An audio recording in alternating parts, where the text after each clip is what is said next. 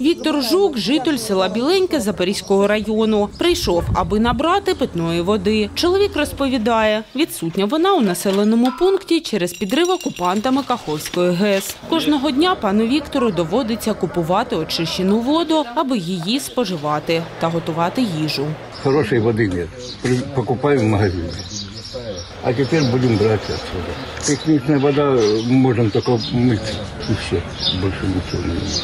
Пані Любов живе в Біленькому 55 років. Жінка каже, за питною водою доводилось ходити до дітей. Нині ж матиме можливість набирати ближче. Технічну ж використовує для прання та городу. Її якість зіпсувалася після обміління Каховського водосховища, каже Любов Лисенко.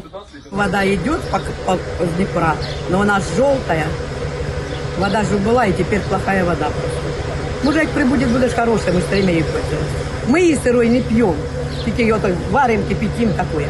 А так от дітвори скважини приношу.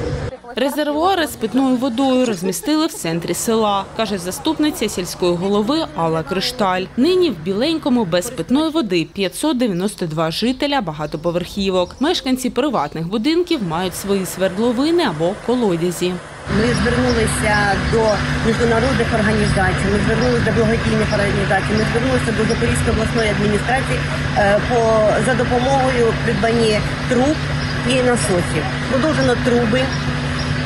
е, Іде ремонтні роботи. Е, зв'язку з цим ми завозимо питну воду людям, щоб люди могли споживати цю воду.